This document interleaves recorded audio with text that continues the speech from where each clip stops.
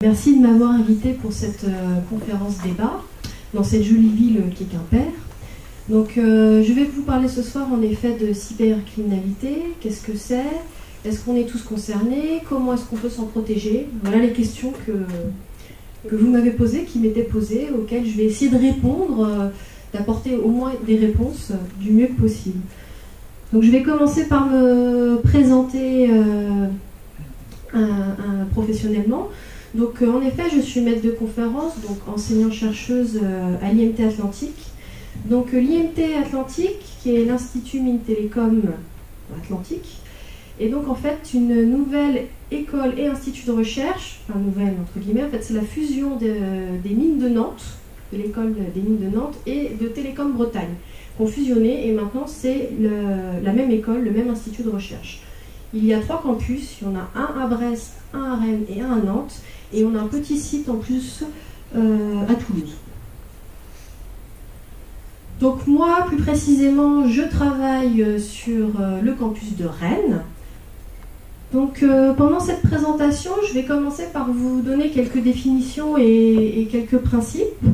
Ensuite, je vous parlerai des attaques, essayer de vous expliquer quelles peuvent être les attaques. Et ensuite, je vous donnerai des conseils euh, pour essayer de, bah, justement de vous protéger euh, de ces attaques. Le but de cette présentation n'étant pas de vous faire peur, bien sûr. Donc, on parle beaucoup en ce moment dans les médias de euh, cybersécurité. La cybersécurité, qu'est-ce que c'est? Eh bien, je vous repose la question. Moi non plus, je ne sais pas ce que c'est.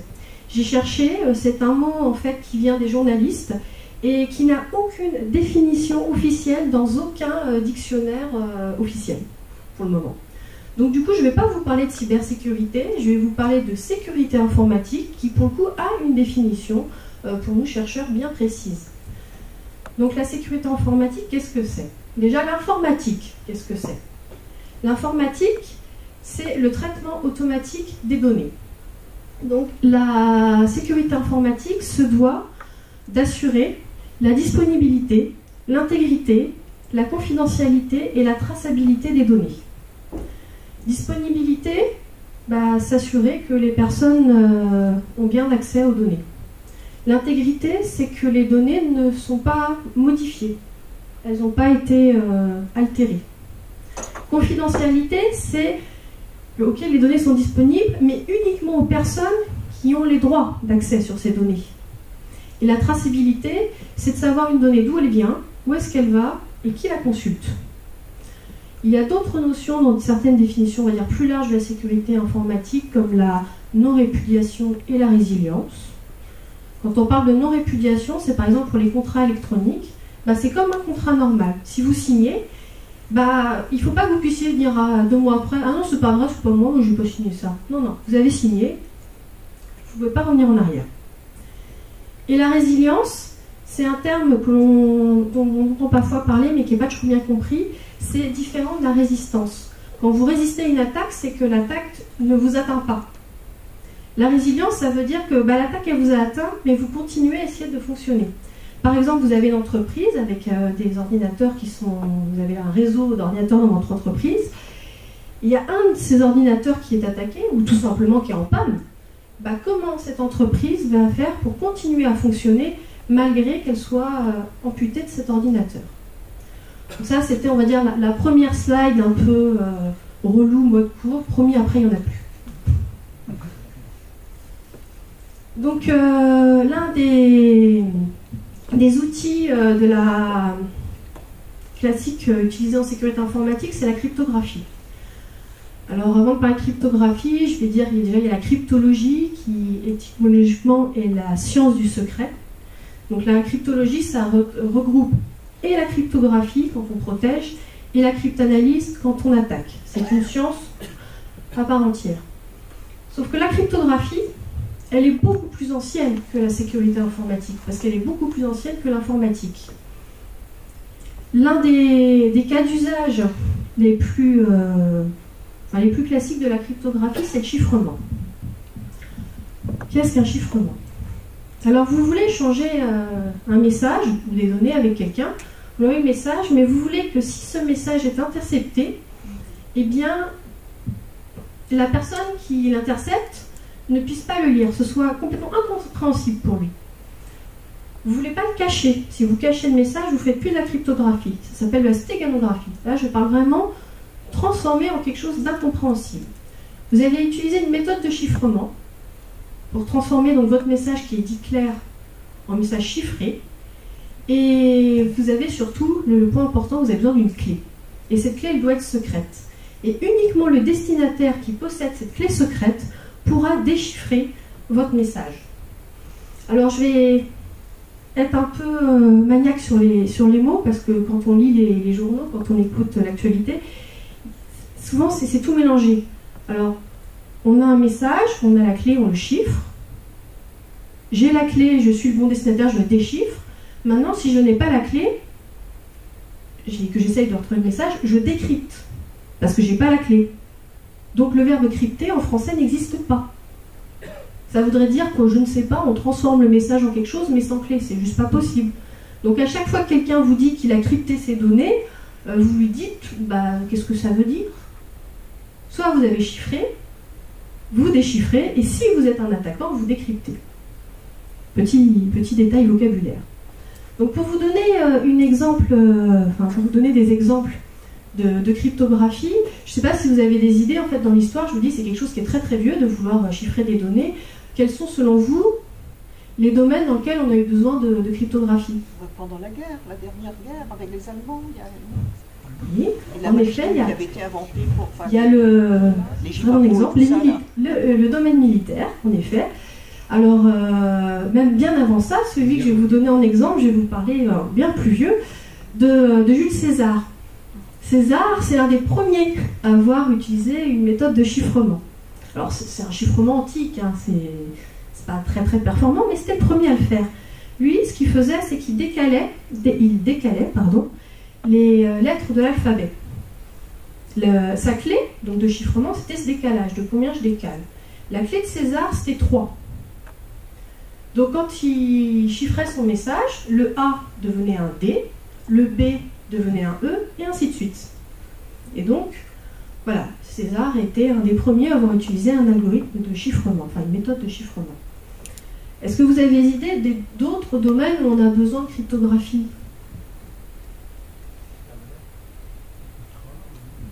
Je n'ai pas entendu. La monnaie. Oui, le commerce.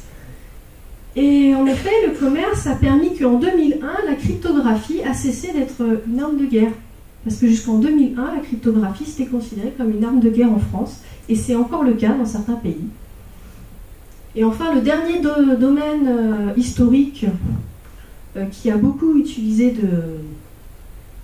de, de, cryptographie auquel on ne pense pas toujours, eh ben, c'est les amoureux. Il y a énormément d'amants qui ont inventé leur propre méthode de chiffrement pour écrire euh, bah, la personne qu'ils aimaient à l'abri euh, pour, rester secret par rapport à leurs parents, leurs maris, leurs femmes, etc. Et euh, il y en a eu vraiment beaucoup. Et on n'y pense pas toujours. Donc,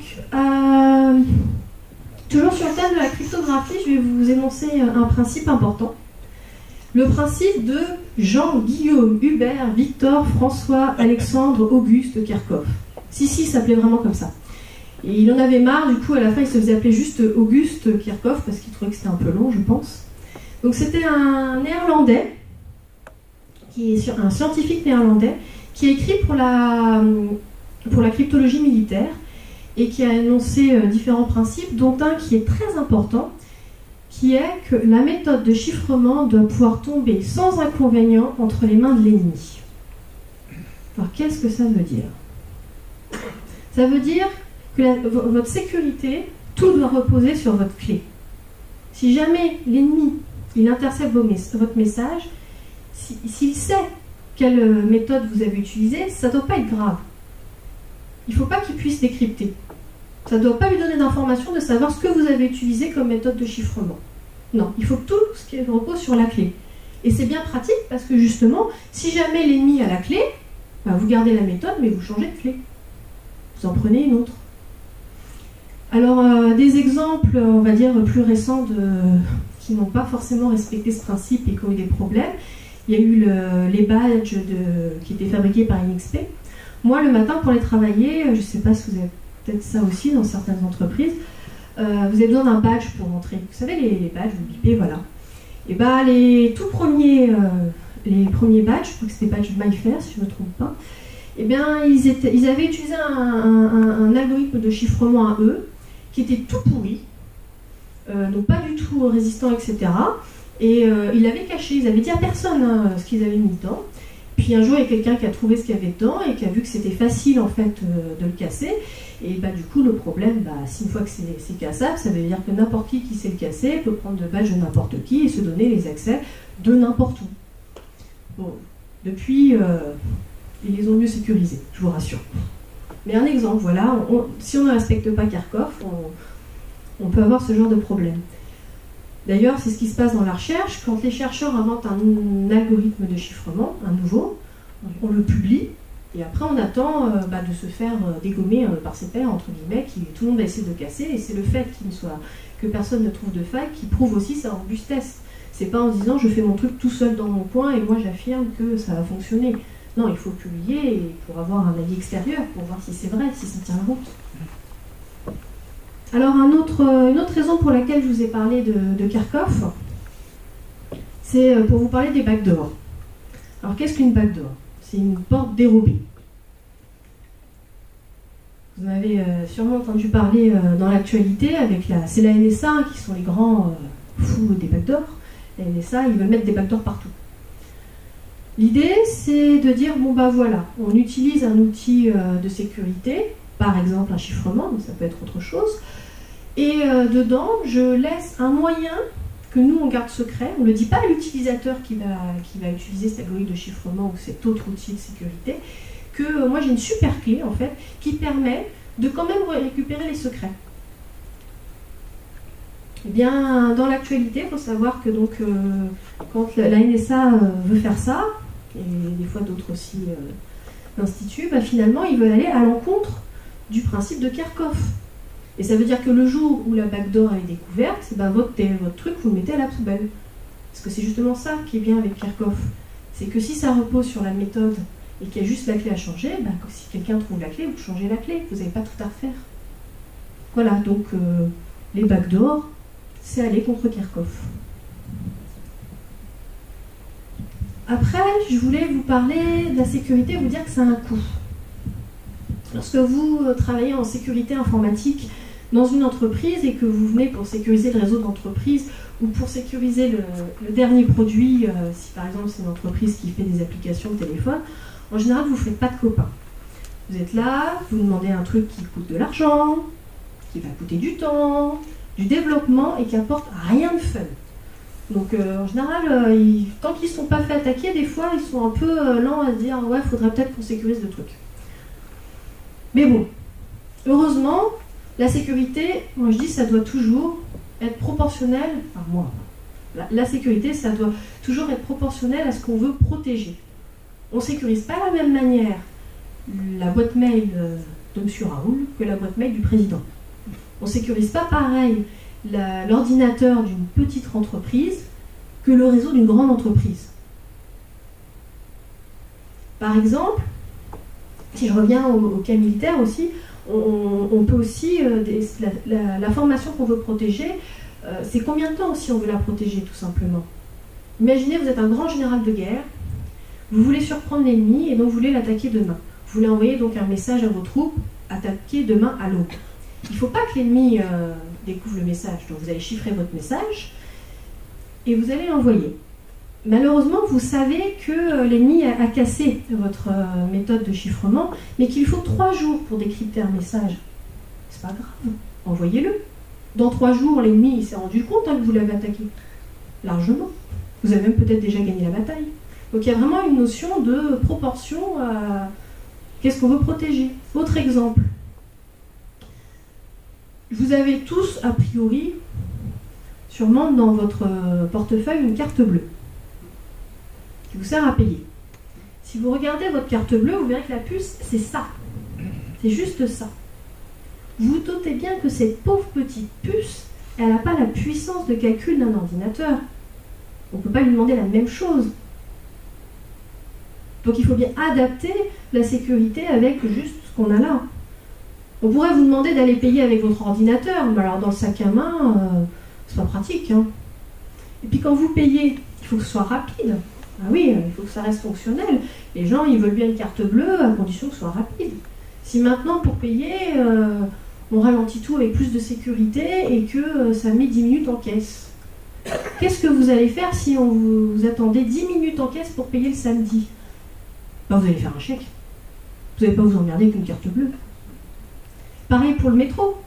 Les Parisiens, eux, ils ont des, cartes Navigo. Là, ils passent, ça fait bip voilà, ils rentrent dans le métro. La sécurité, là-dedans, elle, elle, est pas elle, doit être très rapide. La RATP fait le choix qu'en effet, peut-être que certains spécialistes sont capables de frauder au métro le matin, mais sur le nombre de Parisiens qui euh, ne savent pas faire et qui ne vont pas faire, qui sont tout simplement honnêtes, euh, et eh ben, c'est beaucoup plus rentable plutôt que d'avoir un truc. C'est pareil, si les Parisiens, même 5 secondes d'attendre que leur badge se valide, le matin, euh, Paris, c'est pas la peine, hein, c'est l'enfer. Ils, vont prendre un ticket de métro, ils vont pas utiliser le passe. Donc voilà, la sécurité, c'est vraiment se mettre l'idée, c'est bien, mais il faut que ça reste proportionnel à ce qu'on veut protéger et il faut que, ça, le reste, ça reste fonctionnel malgré euh, cette sécurité. Donc maintenant, je vais commencer à vous parler des, attaques. Quand on parle de cybercriminalité, donc c'est donc on parle des attaques qu'il y a en, sécurité informatique. Donc pourquoi il y a des attaques?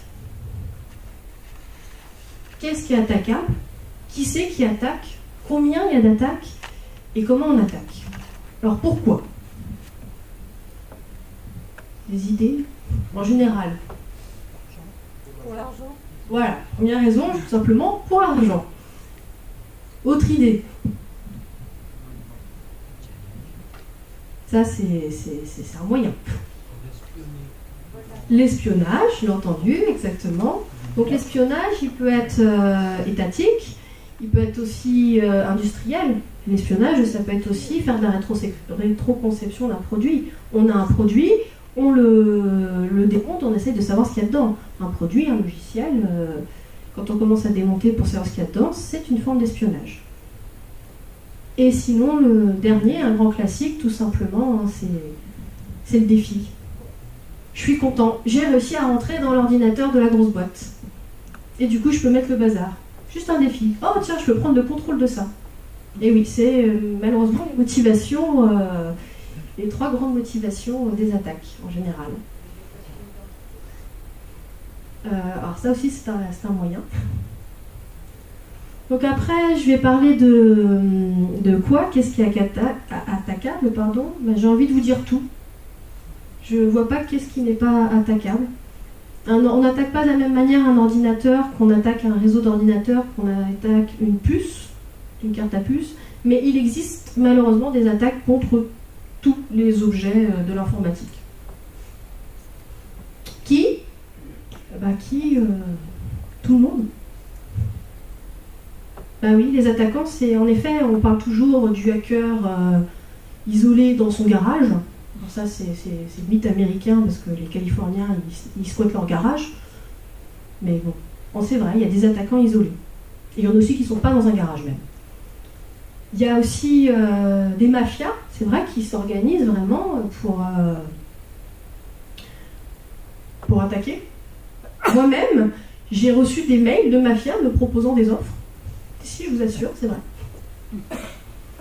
Et après, finalement, bah, les, attaquants, c'est aussi euh, bah, les entreprises, quand elles font de la rétroconception, qu'elles font de l'espionnage industriel, elles deviennent attaquants. Et puis quand on arrive au niveau État, bah, les États, ils espionnent un peu tout le monde, ils s'espionnent entre eux, ils nous espionnent, enfin, ils passent leur temps à faire des attaques. Donc voilà, pour qui? Ensuite, à la question combien, euh, et ben là, c'est une question combien est-ce qu'il y a d'attaques tous les ans? à laquelle je n'ai pas de réponse. Et j'insiste sur le fait que je pense que toute personne qui vous donnera des chiffres vous racontera des carabistouilles. Ça me paraît impossible d'avoir des chiffres exacts. Déjà parce que quand on subit une attaque, par exemple quand une grosse entreprise subit une attaque, bah, elle ne va pas trop s'en vanter. Ça ne fait pas une super pub de dire ouais on s'est fait hacker toutes nos données. Les clients, ils n'aiment pas trop. Donc, euh, il y a toutes les attaques dont on n'est pas au courant. Pareil pour l'État. L'État, les attaques étatiques, vous pouvez toujours demander à la DGSE combien d'attaques ils ont subies et combien ils en ont, vous ont. Je doute qu'ils vous donnent les réponses.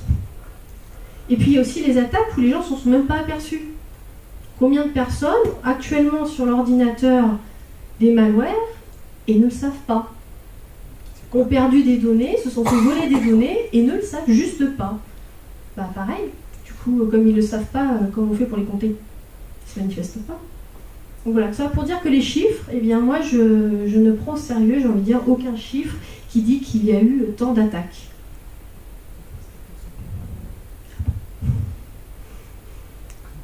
Il y aura une slide sur malware, promis. Euh, donc ensuite, pour le reste de cette euh, partie, je vais essayer de vous expliquer comment les attaques sont possibles. Alors, il existe tellement d'attaques, et ça, c'est sur plusieurs domaines, on va dire, de scientifiques différents, que malheureusement, je ne vais pas pouvoir vous, expliquer toutes les attaques qui existent. Déjà, on n'aurait pas le temps. Ensuite, je n'ai pas les compétences pour. Donc, je vais juste essayer de vous donner un éventail d'attaques, ou du moins de qu'est-ce qui est attaquable et, pourquoi, pour euh, vous sensibiliser euh, à ces attaques. Donc euh, j'ai décidé de les trier. En informatique, on considère qu'on a trois niveaux, on a trois couches. On a d'abstraction, on a trois couches d'abstraction, pardon. On a le niveau théorique, Là, c'est quand on pense au tableau, hein, c'est les matheux, c'est les logiciens, euh, c'est la théorie. Après, on a le niveau, le niveau logiciel, c'est quand on commence à essayer de le mettre dans la machine. Et après, il y a le niveau de la machine en elle-même, niveau matériel. Et en parallèle de ça, il y a euh, bah, les failles humaines. Donc, je vais commencer par parler des attaques théoriques. Donc quand on parle d'attaque théorique, c'est vraiment qu'il y a une, euh, on cherche des failles dans tout début, dans la théorie. On n'est même pas encore au niveau de l'ordinateur. Si je reprends euh, donc le chiffrement de César, qui est donc euh, pas très très bon, voilà, vous, vous recevez un, enfin vous interceptez un message qui a été chiffré par le chiffrement de César. Je vous expliquais tout à l'heure, c'est un décalage des lettres de l'alphabet, et vous voulez le décrypter, puisque vous n'avez pas la clé. Comment vous allez vous y prendre? Des idées? On va faire des essais, je sais pas. Voilà, déjà on peut faire des essais. Là, si dans, des décalages dans l'alphabet, il n'y en a que 25 possibles. Il n'y a que 26 lettres dans l'alphabet. Donc euh, bah, déjà, si vous êtes un... En plus, si vous, êtes plus de 25, chacun essaye une lettre, enfin un décalage, et on voit bien lequel va donner quelque chose. Et je dis il n'y a que 25 parce que si on cale de 0, chiffrer A par A, ça chiffre pas grand-chose. Donc il y a, voilà. Autre méthode qui pourrait être utilisée, c'est si on connaît la langue, qu'on sait que c'est un texte en, français, on va faire ce que les statisticiens appellent euh, une attaque euh, fréquentielle. Qu'est-ce que ça veut dire? Bah, euh, Dans la langue française, bah, les lettres, elles n'apparaissent pas toutes de la même manière. Le E, il apparaît beaucoup plus souvent. Après, je crois que c'est le S, si je ne dis pas de bêtises. Donc bah, vous allez chercher qu'est-ce qui apparaît le plus souvent dans votre, euh, dans votre texte euh, chiffré? Et ce qui apparaît le plus souvent, vous avez de fortes chances que c'est un E. Donc vous allez dire, oh, bah, ça c'est le E. Ensuite, la deuxième qui apparaît le plus, c'est oh, ça va être le S. Et ainsi de suite, vous allez deviner. Plus avec des petits mots en français, le jeu, le le, un, etc. Vous allez euh, petit à petit deviner et retrouver le texte. Et on voit bien que donc le chiffrement de César est extrêmement facile à casser. Un, bah, parce que en lui-même, voilà, on peut faire une, analyse fréquentielle, et deux, parce que de toute façon, il n'y a pas assez de clés. Que 25 clés possibles, c'est rien 25 clés, surtout pour un. Déjà, c'est rien pour un humain, alors pour un ordinateur, tester 25 clés, la belle affaire. Donc voilà, ça c'est vraiment. Donc là, c'était un exemple de cryptanalyse, hein, j'ai choisi le chiffrement pour, euh, comme méthode pour illustrer. Et euh, un autre exemple historique euh, dont, vous parliez tout à l'heure, en effet, les Allemands, pendant la, Seconde Guerre mondiale, ils utilisaient, une machine pour chiffrer leurs messages qui s'appelait Enigma. Et euh, donc Enigma était euh, soi-disant euh, incassable, pourtant les Alliés l'ont cassé. Donc c'était les travaux d'abord des Polonais et repris avec les Anglais, et dans les Anglais célèbres qui ont travaillé là-dessus, il, y a Alan Turing notamment. Et euh, un des biais, parce qu'en fait, quand il y a une faille dans, un, algorithme de chiffrement, on dit qu'il y a un biais. Un, des biais, c'était que les Allemands, eux, ils voulaient tellement faire bien que quand ils chiffraient une lettre, ils voulaient que ce soit jamais cette lettre-là. Donc si vous voyez un A, c'était pas un A. Ça pouvait être n'importe quelle lettre de l'alphabet, sauf le A. ça, c'était un biais. Et euh, ça, ajouté avec le fait que les Alliés savaient que les Allemands commençaient toujours par la météo, eh bien, euh, ce sont des petits détails comme ça qui ont permis euh, de casser Enigma avec le reste. Après, bon, c'est plus compliqué, c'est histoire de, ça fonctionnait avec des rotors, des permutations. Mais ça, c'était le petit biais qui était le petit plus pour aller plus vite. Si je vois un A, je sais pas que c'est un A, et je cherche un message au début qui parle du temps. Donc là, c'est, on va dire, les attaques théoriques. Euh, si votre algorithme de chiffrement, votre méthode de chiffrement, elle ne tient pas au niveau théorique, j'ai envie de dire, tout s'arrête. Euh, ça ne sert à rien de descendre euh, plus bas dans les couches. Donc maintenant, il y a le deuxième niveau. Là, on arrive à notre ordinateur. On a le niveau logiciel. Je vous parle français. certains dans la salle parlent peut-être une autre langue, anglais, russe. L'ordinateur, il ne parle pas français. Il ne parle pas russe non plus, d'ailleurs. L'ordinateur, euh, lui, ce qu'il comprend, c'est qu'il interprète le courant qu'il reçoit, la tension du courant. Un certain niveau, c'est un 0, l'autre niveau, c'est un 1. Donc on dit qu'il parle en binaire. Il comprend que des 0 et des 1.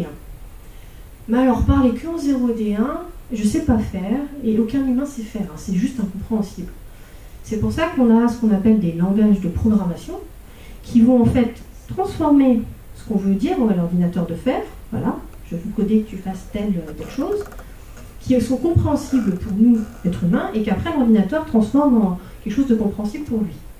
Donc langage de programmation, il y en a des, centaines, hein, le C, le Java, le, Python, euh, ce que vous voulez.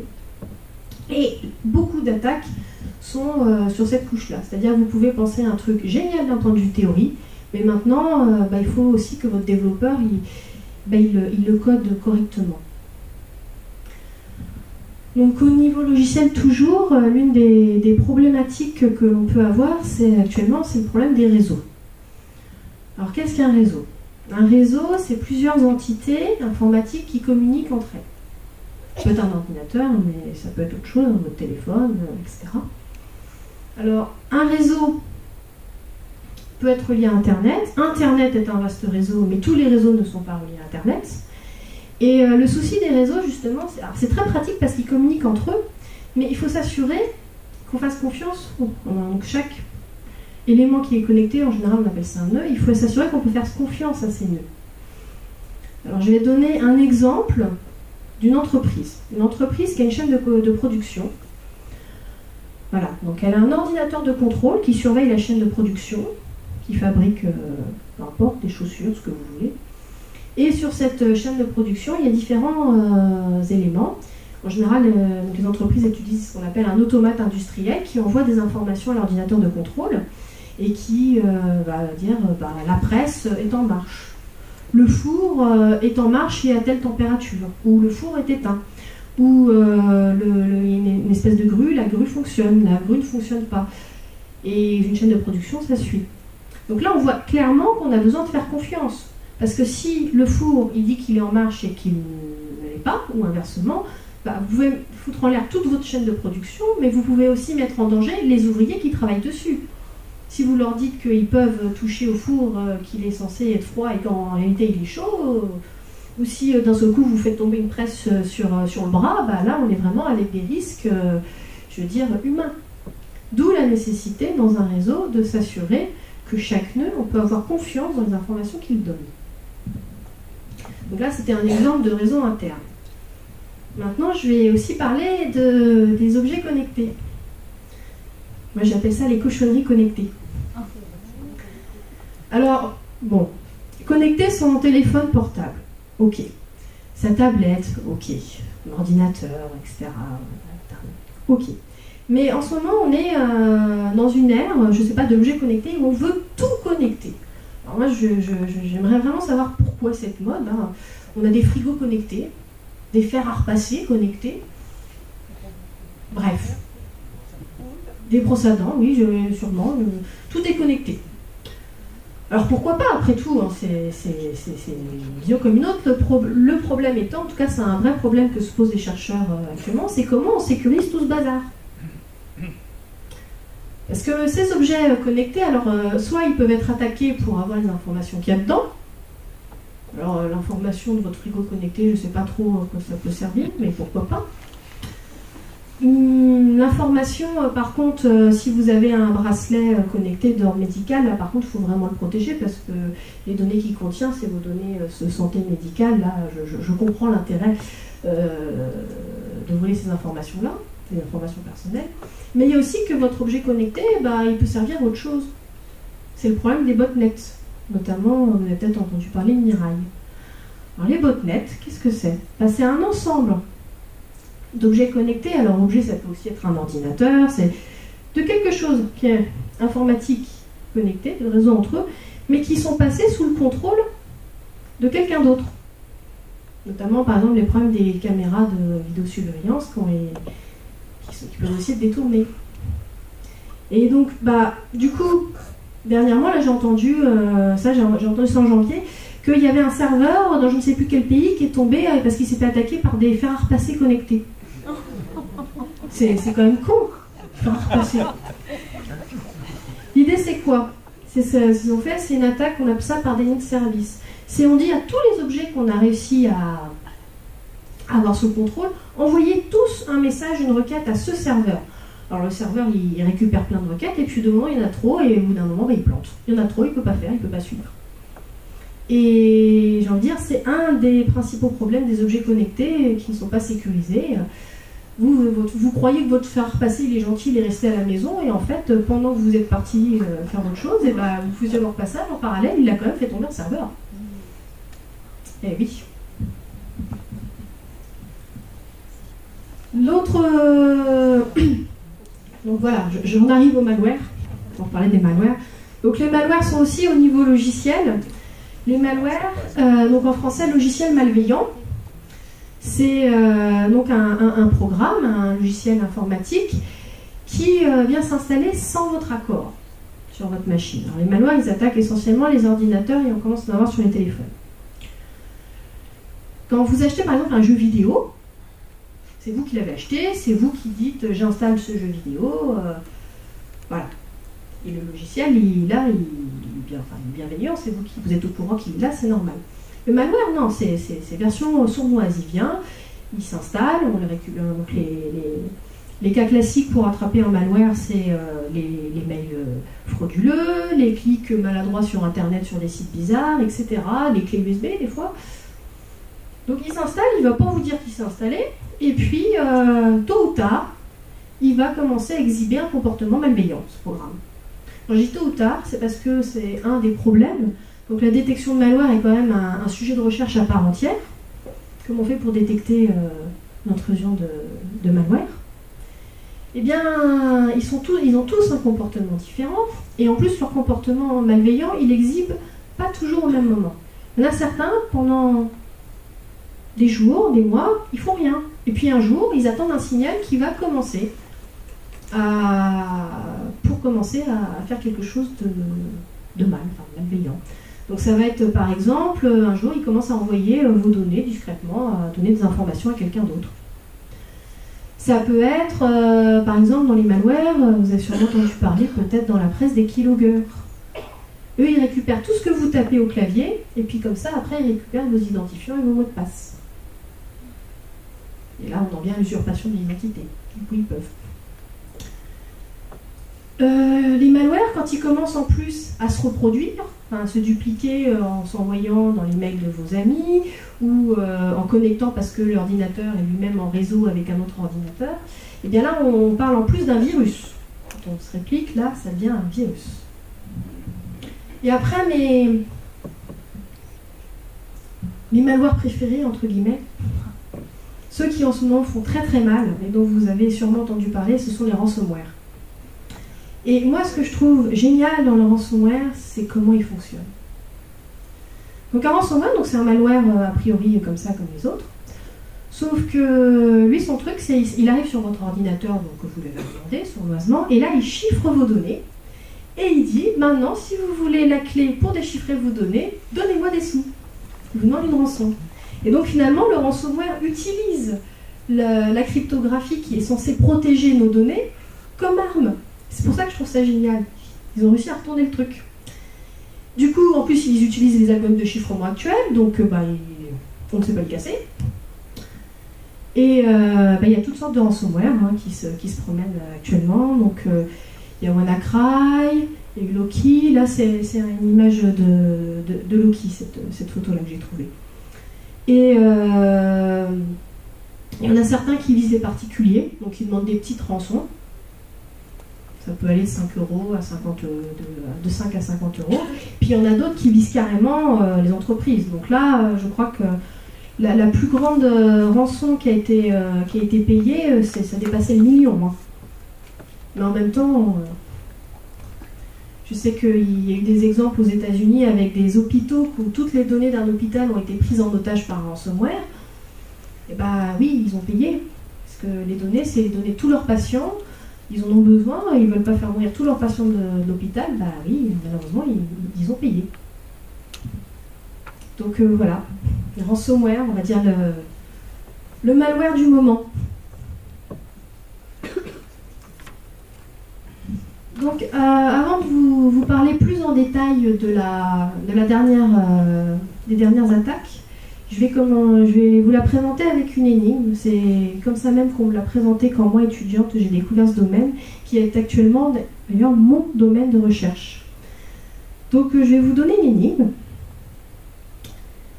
qui est l'énigme de l'ampoule. Donc là, euh, vous allez devoir réfléchir et vous trouver la solution. Il y a une ampoule dans une pièce. À l'extérieur de la pièce, vous avez trois interrupteurs mais vous avez le droit de n'entrer qu'une seule fois dans la pièce. Et la question, c'est comment vous faites pour déterminer quel interrupteur allume l'ampoule. Alors, s'il y en a qui connaissent déjà l'énigme, ne trichez pas, laissez les autres un peu euh, réfléchir. Et, pour ceux qui ne la connaissent pas, euh, j'attends des propositions. Alors, des idées. C'est l'interrupteur qui est le plus sale celui qu'on utilise le plus souvent. J'aime beaucoup. J'aime beaucoup. Ah oui, c'est une attaque physique, on est dans le physique, c'est parfait. Ah, ça serait plus là une attaque de social à... Oui. C'est d'ingénierie sociale, pardon. Oui On allume deux et on rentre dans la table. Oui C'est comme ça, euh, si euh, c'est pas allumé, c'est que c'est pas rien. Si c'est... Euh...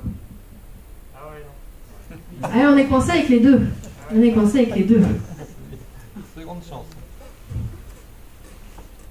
Mais j'aime beaucoup hein, le, plus sale. On va supposer qu'on est dans un endroit très propre. Non, on n'a pas le droit de démonter, on fait pas de trous dans les murs, on ne construit pas une fenêtre, on. Non. C'est tout propre et on n'a pas le droit de toucher au câble. C'est de savoir lequel contrôle.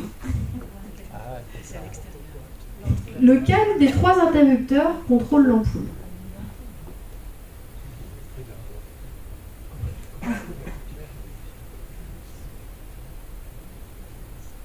Je vais vous donner la réponse. Alors, vous allez allumer le premier interrupteur. Puis vous allez attendre. Vous attendez un petit peu. Tranquillement. Vous allez l'éteindre. Et ensuite, vous allez allumer le deuxième. Et seulement là, vous rentrez dans la pièce. Si l'ampoule est allumée, c'est que c'est le deuxième. Et si elle est éteinte, comment vous savez? Je l'ai entendu. Elle est chaude. Voilà. Si l'ampoule est chaude, c'est qu'elle a été allumée. Et donc c'est le premier. Si elle est froide, eh bien, c'est qu'elle n'a jamais été allumée, et donc c'est le troisième.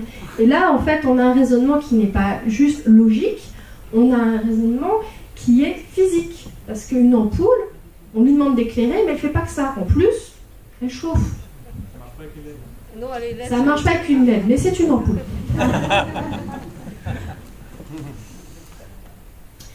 eh bien, euh, il faut savoir que euh, le, on parle souvent de, quand on parle d'informatique, que c'est un monde pas réel, moi je dis c'est faux, c'est un monde bien réel. Parce que justement, les circuits imprimés de votre ordinateur, votre carte à puce, tout ce que vous voulez, ils sont dans un monde réel. Et eux aussi, ils ont des caractères physiques. Ils ont un temps de calcul, ils ont une consommation de courant, ils chauffent aussi. Et la- l'analyse de ces paramètres physiques, euh, pour faire des attaques, c'est ce qu'on appelle les attaques physiques, c'est qu'on ne s'intéresse plus finalement à attaquer comment ça a été euh, implémenté d'un point de vue logiciel ou qu'est-ce qui est fait d'un point de vue théorique, mais vraiment comment il se comporte. On regarde son comportement matériel. Donc un des, premiers euh, exemples d'attaques physiques, c'était les attaques en temps. Oui, il y a un temps de calcul. Je peux vous le même montrer, même vous, vous avez un temps de calcul. Si je passais dans la salle et que je distribuais des petits papiers avec deux calculs, il y a une partie de la salle, je ne sais pas ce que vous piochez, hein. je, vous donne juste un petit papier avec un calcul. Il y a une partie qui auront 2 plus 2, et l'autre partie qui aura, euh, je sais pas moi, racine de 56 divisé par l'exponentielle de 23 multiplié par pi divisé par cosinus de 5, le tout euh, au cube. Et je vous dis, voilà, dès que vous... euh, on compte jusqu'à 3, à 3, vous dépliez votre petit papier et vous faites le calcul. Dès que vous avez fini le calcul, vous vous mettez debout. Ah bah moi, je sais tout de suite, je vais voir la moitié de la salle qui va se lever, c'est ceux qui ont pioché 2 plus 2. Les autres, ils ne seront pas tout de suite debout. Ça paraît évident. Eh bien, c'est bête, mais euh, c'est pareil. hein. Un, un ordinateur, une carte à puce, tout ce que vous voulez, elle a un temps de calcul. Et les, les premières attaques en temps, elles étaient visées contre les, les codes PIN. Quand vous allez, euh, vous tapez votre code PIN de votre carte bleue, enfin votre code, et que euh, votre code, mettons, c'est 1, 2, 3, 4. Si vous commencez par 5, je veux dire, la machine, elle pourrait dire non, mais il me prend pour un andouille, il s'est trompé des premiers chiffres, euh, je peux lui déjà dire que c'est faux.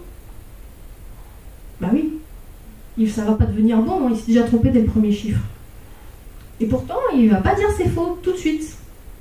Il va bien vous laisser taper vos chiffres, et ensuite, que ce soit le bon pin, le mauvais pin, ou un, mauvais pin avec une faute, deux fautes, tout est faux, il vous répondra la réponse avec le même temps.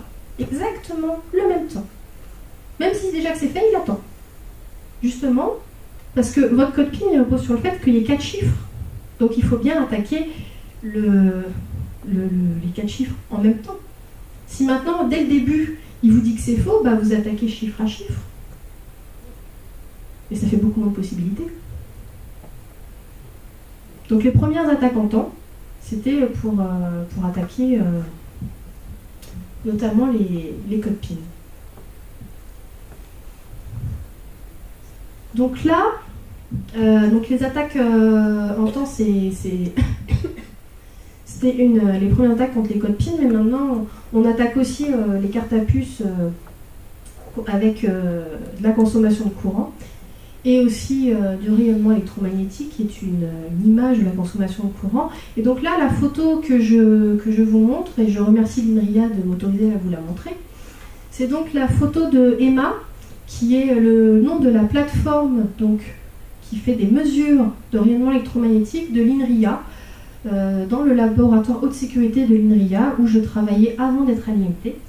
Donc là, vous avez en fait une, carte à puce, vous avez une sonde, un truc qui ressemble à un stylo là, qui va faire des mesures de votre, euh, de votre puce, donc euh, pendant qu'elle fait son calcul.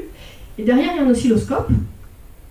Vous allez récupérer donc, donc ces traces, et avec ces traces, eh bien, vous pouvez casser les meilleurs algorithmes de chiffrement euh, qui existent à l'heure actuelle, très facilement, si euh, la puce n'est pas faite pour faire de la sécurité. Et moi, par exemple, mes travaux, quand j'étais donc à l'INRIA, c'était aussi de retrouver des codes PIN. Avec euh, des fois deux traces, j'arrivais à retrouver le code PIN de quelqu'un, juste en analysant les traces que j'obtenais derrière. Voilà, ça c'est ce qu'on appelle les attaques en fait par observation de phénomènes physiques. Et l'autre domaine des attaques physiques, c'est ce qu'on appelle les attaques par perturbation. Donc c'est une autre photo euh, du, du LHS, du laboratoire de sécurité, une deuxième plateforme qu'ils ont appelée Faustine. Oui, on manque de filles en informatique, alors euh, voilà, c'est moi qui ai choisi les noms, j'ai besoin de copines. Hein, donc c'est Eva et Faustine. Euh, donc c'est cette plateforme-là, on retrouve la sonde là-bas, qui est posée ce coup-ci sur un petit circuit. C'est un microcontrôleur qu'on peut trouver, en fait, un petit circuit qui, dans nombreux d'objets IoT, justement, d'objets connectés, euh, ont ce genre de, de circuit. Et là, on a un générateur de pulse, c'est-à-dire qu'au lieu de mesurer le rayonnement électromagnétique, c'est l'inverse. On va envoyer des ondes. On va faire un- une faute, ce qu'on appelle une faute physique. Et ça va perturber le circuit. Vous aussi, on peut vous faire des fautes physiques. Pour, pour illustrer, euh, bah, si je demande à quelqu'un de monter sur l'estrade et me, réciter une fable de La Fontaine, je pense qu'il va le faire sans aucune difficulté. Maintenant, si pendant sa, récitation, je lui mets un grand coup sur la tête, il va se passer quelque chose. Avec un peu de chance, il ne m'en remet pas un, mais euh, il va au moins s'arrêter, il va râler, enfin, il va pas finir sa récitation normalement. Non, il va se passer quelque chose. Et ben, les circuits, euh, c'est pareil. Si vous les fautez, enfin, c'est ça qu'on appelle les fautes physiques, il fait son calcul et puis boum, il se prend euh, un coup de rayonnement électromagnétique. Il y a aussi des attaques qui se font avec des lasers. Eh bien, euh, il va faire des erreurs. Il va peut-être il va peut-être s'arrêter, il va peut-être cramer, mais il va se passer quelque chose. Et euh, certaines personnes savent maîtriser ça. Il y a des attaques qui permettent, si je reprends l'exemple du code PIN, au moment où le code PIN, on demande à la personne d'appeler son code PIN, et ben finalement, euh, on saute euh, cette étape. Non, non, le code PIN, il a déjà été vérifié. On va directement à l'étape d'après. Voilà. Exemple euh, d'attaque euh, par injection de faute physique. Et enfin, les dernières attaques, on va dire, qu'on a, et que là, pour le coup, d'un point de vue chercheur, on ne sait pas forcément, en tout cas scientifique, trop quoi faire, c'est tout ce qui dépend de l'ingénierie sociale. Et euh, voilà, donc vous pouvez avoir des, super circuits qui sont dédiés pour faire de la sécurité, qui résistent aux attaques physiques, avoir des super développeurs qui font tout bien, avoir le meilleur algorithme de chiffrement, le meilleur code PIN qui soit, enfin pas de souci. Et puis bah voilà, votre utilisateur il fout son mot de passe euh, sur un post-it, euh, voilà. Bah, voilà. Qu'est-ce que vous voulez qu'on fasse contre ça? Donc c'est le dernier domaine, on va dire. Et euh, j'ai essayé de vous trouver une, petite anecdote, euh, j'ai cherché. Euh, eh bien, c'est ce qui est arrivé une des victimes d'attaques humaines, enfin d'ingénierie sociale, ça a été le FBI en 1971. Il y avait des, donc des attaquants, des, des activistes qui voulaient euh, récupérer des données dans un des locaux du FBI. Bon. Ils étaient très très forts pour, pour crocheter les serrures et donc ils s'étaient déjà introduits dans les locaux à plusieurs reprises, la nuit, et puis ils étaient toujours bloqués au même endroit. Il y avait une porte. À cette porte-là, ils essayaient, ils essayaient, bah non, c'est non, c'est pas crocheter. Comment on va faire? Bah, Ils étaient bien embêtés. Puis il y en a un qui a eu l'idée, bah, on va leur mettre un. Ils ont laissé un petit mot sur la porte. Cette nuit, veuillez laisser la porte ouverte. Ils sont venus la nuit suivante, la porte était ouverte, ils ont volé leur dossier. Eh oui, le FBI n'était pas très fier de, cette attaque. Mais c'est un très bon exemple euh, d'attaque d'ingénierie sociale.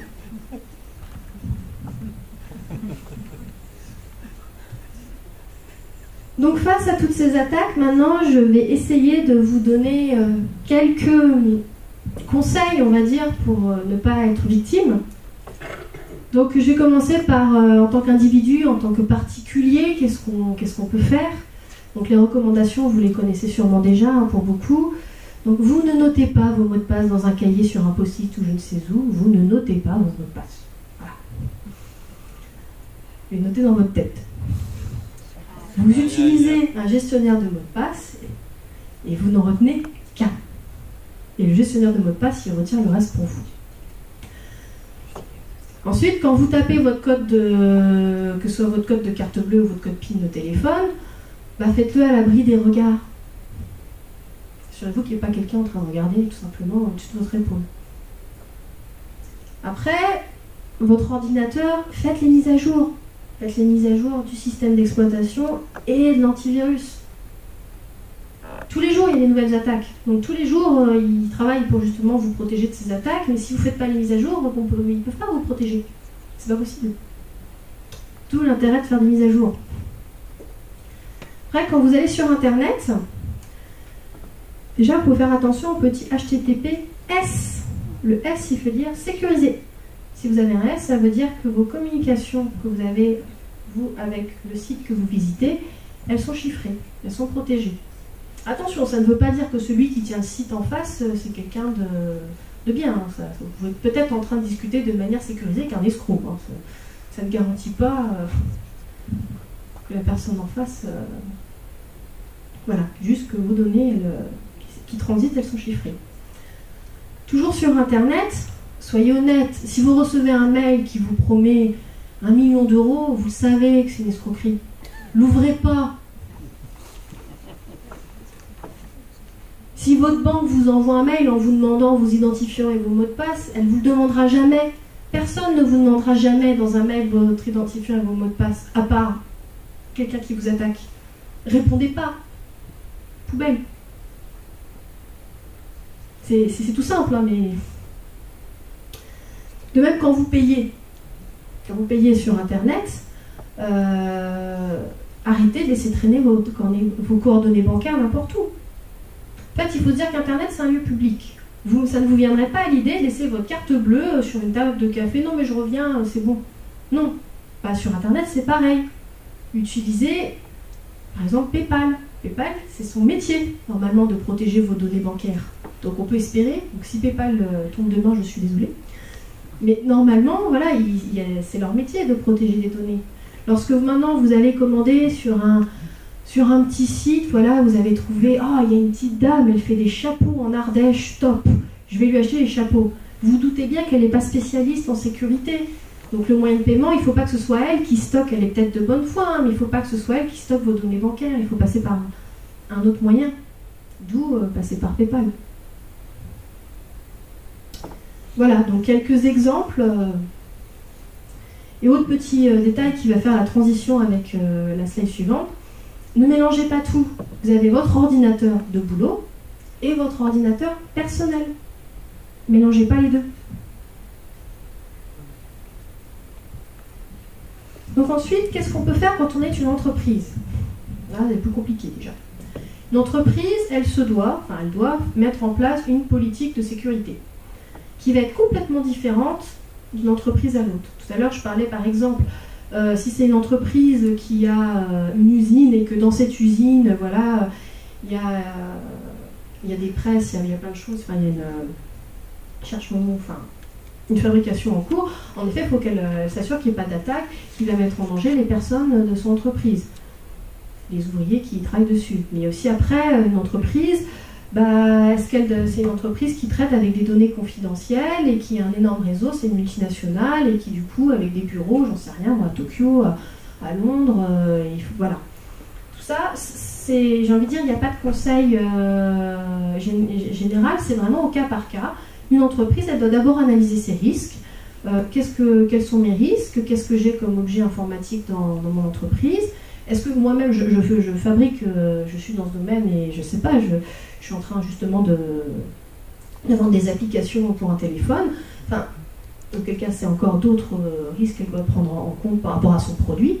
Mais c'est à elle de mettre en place sa politique, d'analyser ses risques et ensuite d'appliquer, de- euh, les, bonnes euh, protections.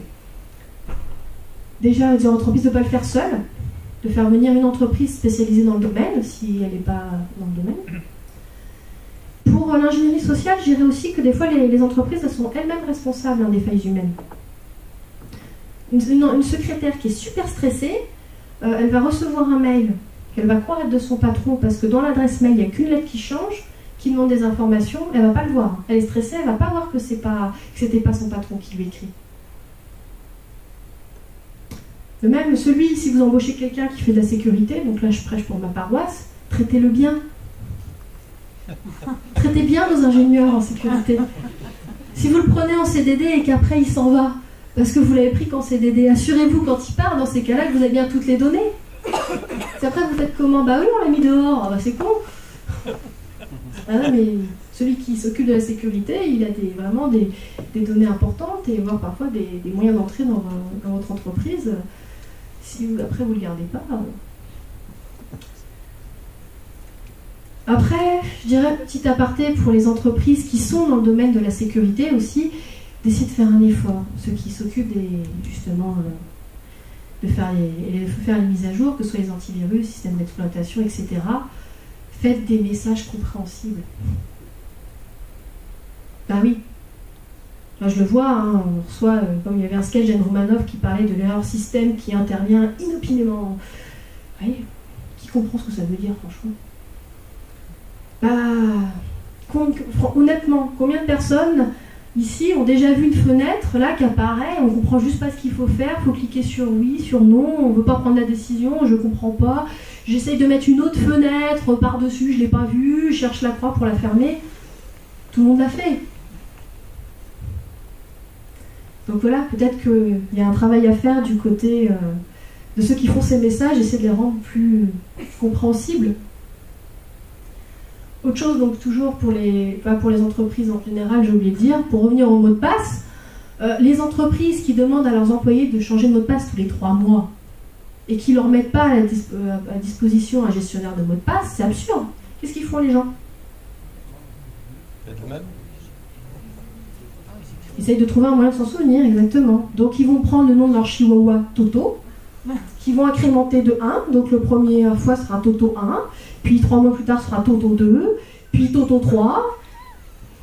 Ah bah oui, mais c'est super classique, mais en même temps, c'est pas humain de retenir W majuscule ZX 160 euh, slash slash dièse 333 euh, majuscule A. Et en plus, tous les trois mois, ça change. Non, les recommandations, c'est utiliser un gestionnaire de mot de passe. Il est à votre place. Ensuite, euh, quel est le rôle, euh, que peut-on faire contre les attaques en tant que, en tant que chercheur? Quel est notre rôle à nous? Alors, euh, pour moi, le rôle du chercheur, c'est euh, d'alerter, de, prévenir, d'avoir une longueur d'avance. Les chercheurs, ils essayent d'attaquer euh, et de chercher des protections contre les attaques futures. Alors ça peut poser un problème éthique, hein, c'est des fois ce qu'on on nous a déjà reproché. hein. C'est bah, vous trouvez une attaque, vous la publiez, donc du coup vous donnez l'attaque à, des, à des gens malveillants en la publiant. Oui, c'est vrai. Mais dire il n'y a pas d'attaque, c'est aussi faire l'autruche. Il vaut mieux qu'il y ait un chercheur qui publie l'attaque, comme ça du coup le reste de la, communauté des chercheurs va aussi chercher des solutions contre cette attaque, plutôt que le premier qu'il découvre ce soit justement quelqu'un de malveillant. Parce que si l'attaque est possible, tôt ou tard quelqu'un trouvera. Donc voilà, donc le, boulot des chercheurs, pour moi, c'est toujours d'e- d'essayer, du, possible, hein, des fois on n'y arrive pas, hein, mais d'essayer d'avoir une, vraiment une longueur d'avance pour anticiper les attaques à venir avant qu'elles arrivent en vrai. Et enfin, je vais finir par le rôle euh, de l'État. Alors j'ai envie de dire, on a de la chance qu'on est en France. Parce que euh, en France, on a, euh, on a l'ANSI, qui est l'Agence nationale de la sécurité des systèmes d'information, qui a justement pour rôle de s'intéresser à tout ce qu'est la sécurité des systèmes informatiques. Et euh, pourquoi on a de la chance? Eh bien parce que euh, si on prend l'exemple des États-Unis, eux, euh, aux États-Unis, ils ont la NSA. Mais la NSA, c'est aussi ceux qui attaquent. Du coup, ils ont une entité complètement schizophrène qui attaque et qui protège en même temps. Donc là, l'ANSI, vraiment, son boulot, c'est de protéger. Pour l'attaque, nous, on, on- on a le ministère de la Défense. C'est vrai, finalement, un téléphone, vous, quand vous achetez votre téléphone, vous avez envie qu'il soit protégé, votre téléphone. Mais l'État, il va dire, oui, mais maintenant, si le téléphone, il a été acheté par un terroriste, nous, on va pouvoir retrouver les données pour lutter, euh, qu'il y a dedans pour lutter contre le terrorisme. C'est vrai, aussi. Donc finalement, le même objet, on veut à la fois le protéger et être capable de le casser. Donc si en plus c'est la même agence qui traite les deux, ça peut poser problème. Enfin, en France, au moins, on n'a pas de souci. Donc l'ANSI, elle s'occupe de donner les recommandations euh, officielles en termes de sécurité. Après, euh, elle, euh, elle s'occupe aussi de, donc elle a un rôle là aussi d'information, mais de s'assurer que c'est fait correctement. Je m'explique. Si je reprends l'exemple de ma carte à puce, la carte bleue, on est, je vous ai donc parlé d'un certain nombre d'attaques qu'il y a sur les cartes à puce. Ils sont courants. hein. Donc euh, quand euh, une banque, euh, n'importe laquelle, la BNP veut une nouvelle, enfin veut des puces, elle va aller acheter un fabricant de cartes à puce. Il faut savoir quand même que la carte à puce a été inventée par M. Moreno, qui était un Français, et la France est numéro un dans le domaine de la carte à puce. Eh bien, elle va acheter sa carte à puce et puis elle va dire, voilà, mais je la voudrais protéger contre un certain nombre d'attaques. Donc Gemalto, bien sûr, ils vont dire qu'elle est protégée. Enfin, n'importe quel vendeur va dire, bah oui, bien sûr. Donc pour s'assurer que c'est vrai, cette carte va être envoyée à une autre entreprise encore, qu'on appelle euh, les donc ils vont certifier que cette carte, elle est bien résistante à un certain nombre d'attaques et qu'elle est peut-être pas résistante pour, cer- pour certaines. Et après, la, banque va décider si oui ou non cette carte leur convient ou pas. Ça, ils traitent avec leurs assurances. Et bien l'ANSI va s'assurer que les CESTI ont bien fait leur boulot aussi. Ils sont au-dessus. Alors j'ai parlé pour cet exemple, cet exemple de la carte à puce, mais il existe aussi des, entreprises de, certification, aussi pour le logiciel, pas que pour, euh, que pour le matériel. Et euh, l'ANSI gère ça aussi. Et enfin, pour ne pas rester euh, avec l'État avec que l'ANSI, je pense, après ça n'engage que moi, que le rôle de l'État est aussi donc d'informer euh, sa population, comme le rôle du chercheur, j'ai oublié de- le dire, c'est aussi de faire comme ce soir de la vulgarisation scientifique et d'essayer de sensibiliser la population. Et j'ai appris euh, dernièrement, et je trouve ça très bien, que les enfants de CM2 passent un permis euh, Internet. Maintenant, tous les enfants de CM2 en France, ils doivent passer apparemment un permis euh, pour avoir le droit d'aller sur Internet, et donc justement pour les sensibiliser que, bah, aux attaques, mais aussi aux, attaques, on va dire, euh, par rapport à eux, hein, mes enfants, de ne pas dire euh, comment je m'appelle, où j'habite, euh, à quelqu'un que, je rencontre sur un chat ou je ne sais où, ou sur un jeu vidéo. Voilà. Pour, pour l'État. Et donc, en conclusion, eh bien, je, je dirais que la sécurité informatique, bah, c'est un vaste domaine, parce que sur plusieurs domaines, c'est euh, à la fois euh, bah, des, domaines théoriques, hein, c'est des mathématiciens, mais c'est aussi des informaticiens, c'est aussi des microélectroniciens, c'est aussi euh, des physiciens, et que finalement, je pense qu'il y a peu de personnes sur, je sais même pas si ça existe, une personne sur la planète qui est vraiment spécialisée dans tous les domaines de la sécurité informatique. Moi, je vous ai dit, hein, mon domaine de recherche à moi, c'est les attaques physiques. Après, voilà, c'est vraiment quelque chose de très, de très très vaste et euh, de très complexe. C'est pour ça que c'est normal que des fois on ait un peu de mal à suivre euh, ce qu'on entend, surtout que je crois que les journalistes aussi eux-mêmes, des fois, ne comprennent pas forcément euh, ce qu'ils essayent d'expliquer. Je vous remercie de votre attention et on va passer aux questions. Merci de cette présentation. Je crois que